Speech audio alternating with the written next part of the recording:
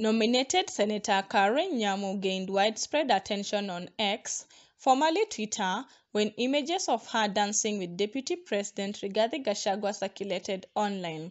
The two were among numerous political figures present at the traditional wedding of Mathira MP Eric Wamumbi and Murang'a Women Representative Betty Maina.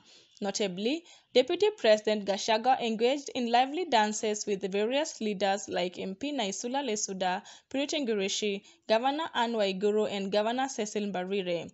Nyamu later shared the joyful dance moments with the Deputy President on social media, causing a social media frenzy. The images portrayed the leaders dancing harmoniously with evident joy. A particular photo fueled speculations, suggesting the deputy president maintained a respectful distance, possibly due to his Christian marital status. President William Ruto graced the event, and on the other hand, the deputy president took on the role of chief dowry negotiator, infusing a traditional element into the celebration of love, unity, and cultural heritage. Please remember to subscribe to our YouTube channel for more amazing videos on your favorite celebrities across the world.